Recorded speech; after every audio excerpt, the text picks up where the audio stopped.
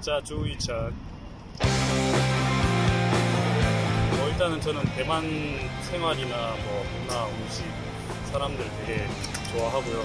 그리고 평소에 팀 선수들이 항상 저를 데리고 점심이나 저녁 같이 먹고 같이 놀러도 가고 하기 때문에 저는 타이중 생활 되게 만족합니다. 네, 뭐 일단은 푸트로가 생각하는 그 목표에 대해서 정말 좋게 생각을 하고 있고 팀이 특별하다고 생각을 해요. 어, J리그와 해외 리그를 경험한 일본 선수들과 어, 대만급 대만 국가대표급 선수들이랑 그리고 K리그를 경험한 저가 있기 때문에 어, 높은 수준의 축구를 구사할 수 있다고 생각을 하고 있습니다. 그래서 올 시즌 정말 많이 기대가 됩니다.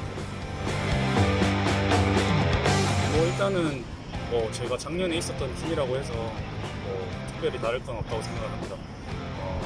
선수라면 항상 어느 경기든 똑같은 준비 자세 가지는 게 중요하다고 생각하기 때문에 저는 똑같이 항상 똑같이 준비를 할 것입니다.